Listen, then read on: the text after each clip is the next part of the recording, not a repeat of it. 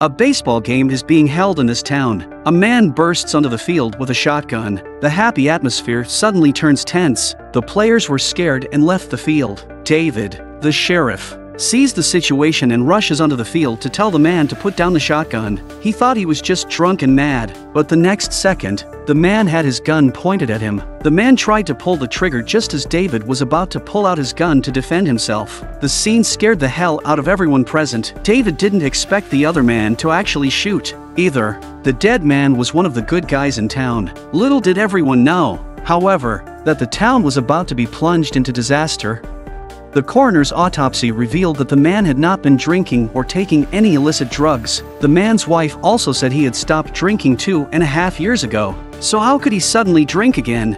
Faced with an angry slap from the victim's wife, David could only take it in silence. That night another terrible thing happened in the town. A man locked his wife and children in the house and spread gasoline outside. He set the house on fire and burned them alive. By the time David arrived, the fire was beyond control. And the man who said it was whistling without a care in the world. What's even more bizarre is the resemblance between the man who set the fire and the man who was shot. The vacant look in his eyes seemed to be controlled by something. At the same time, some villagers hunting in the forest suddenly noticed a parachute hanging from a tree. They pulled up the rope and saw that it was the body of a pilot. David arrived on the scene immediately. Based on the body's decomposition, it was confirmed that it had been dead for over a week. But strangely, there was no wreckage nearby. Could it have fallen into the river?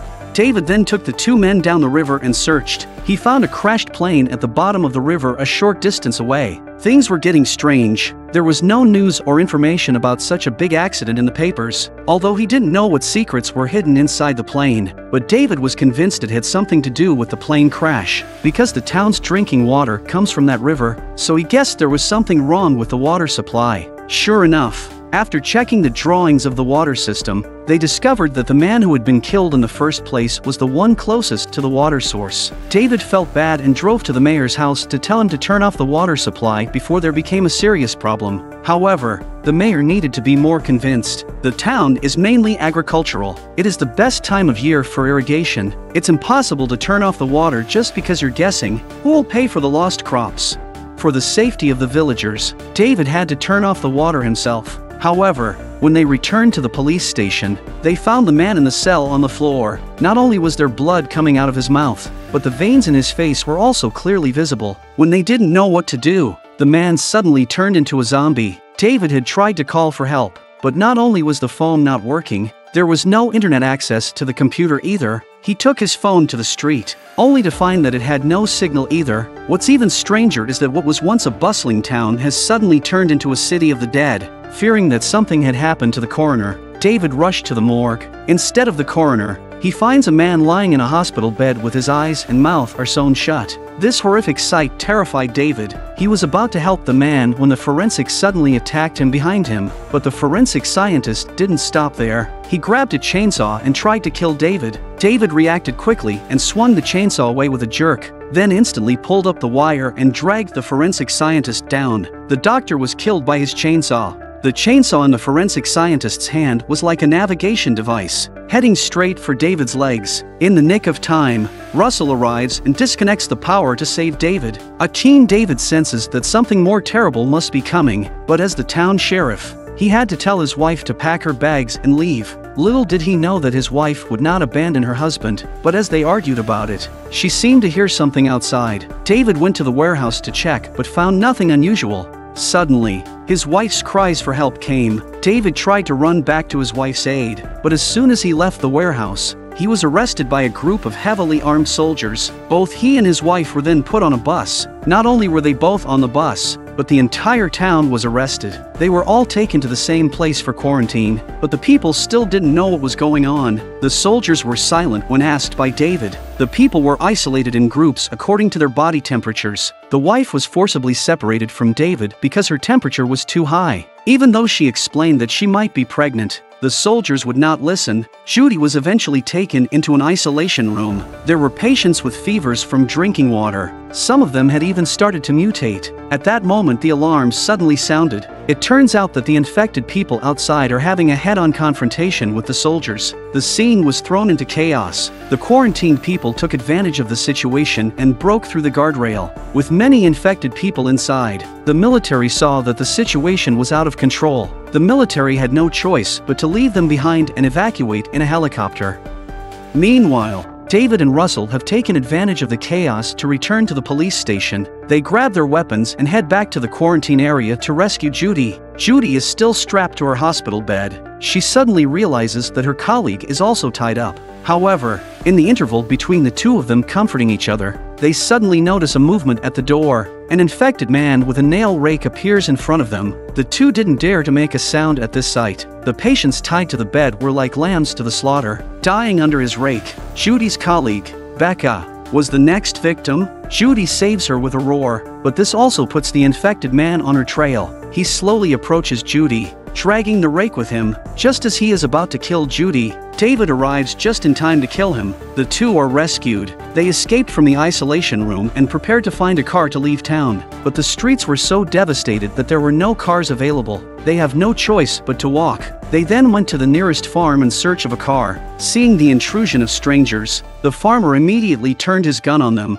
He made sure they were all right before dropping his gun. At that moment, David suddenly heard something. The men quickly ducked into the barn. They saw several soldiers preparing to take away the farmer's family. Seeing this, the farmer, desperate to save his family, rushed out without thinking, but on the way, he was shot by the soldiers as if he was infected. Then his family was shot dead on the spot. The military has started an indiscriminate cleanup to bring the virus under control. Now they not only had to fight the infected, but they also had to prevent the military from finding them. However, just as the men were about to leave the area, they spotted a soldier coming this way. David quickly hid behind the door. The moment the soldier steps into the warehouse, he's under control. But after some questioning, the soldier didn't know exactly what had happened. All he knew was that the town was infected with an unknown virus. His superiors had sent them to seal off the town and clear it of the mutated infected. After telling him everything, the soldier begged David to let him go and promised not to expose them. Seeing another soldier approaching, David had no choice but to trust him.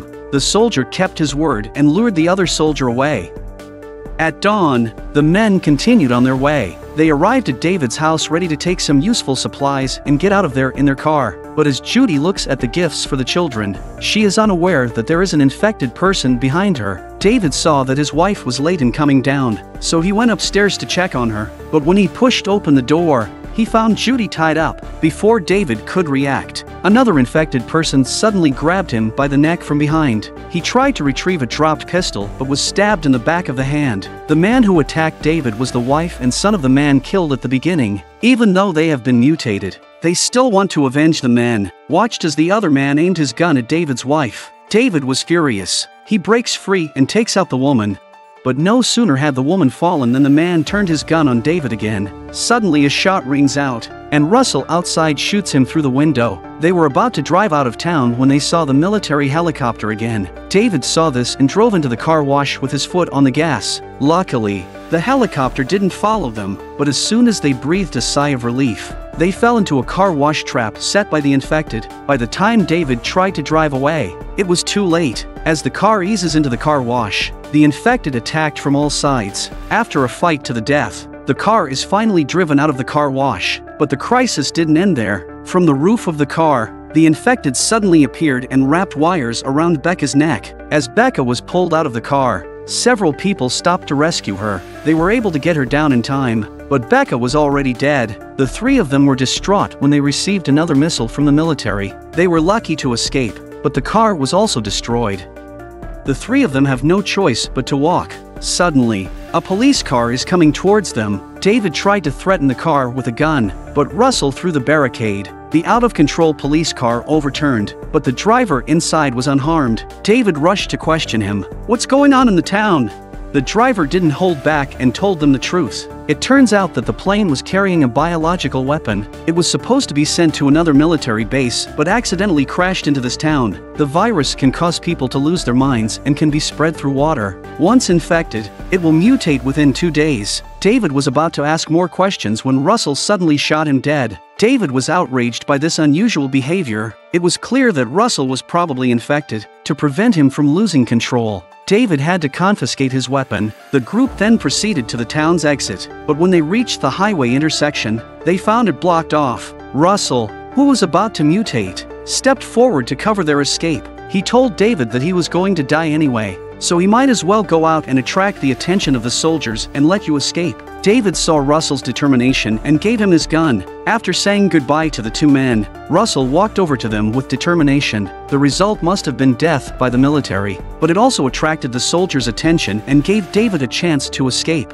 They followed the highway and then came to a service area. Little did they know that it had fallen too. Looking at the bullet casings all over the floor and the bodies on the truck, they realized that the so-called quarantine was a concentrated and inhumane purge. They had to find a way out of here as soon as possible. While searching for supplies, David found a walkie-talkie that the military had left behind. A message came through. Attention all, we have 8 minutes until the countdown begins. He didn't know what it meant, but it certainly wasn't good. The two men quickly found a truck and prepared to drive away from the area. Thinking about what he had just heard, David didn't dare delay for a moment. At this moment, the walkie-talkie said there were less than 30 seconds left in the countdown. They didn't know what would happen at the end of the countdown and had to get as far away from the town as possible. Little did they know that the military would drop a nuclear bomb on the town to erase everything. The truck was instantly overturned by the wave of air that swept through it. But luckily, both miraculously survived. When they look in the direction of the town again, they see a huge mushroom cloud. At the film's end, the two men head for the next town. Unbeknownst to them, their movements are visible to the military's satellites. Remember to subscribe to my channel, and I'll see you next time.